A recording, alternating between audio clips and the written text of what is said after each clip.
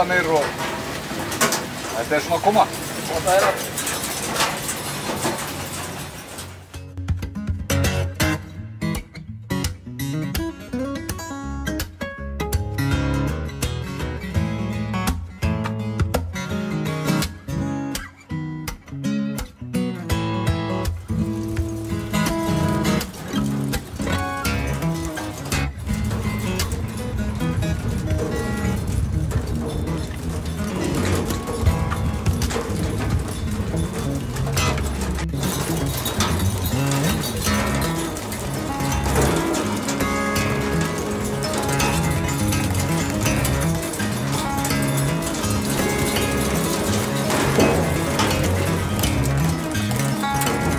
Thank you.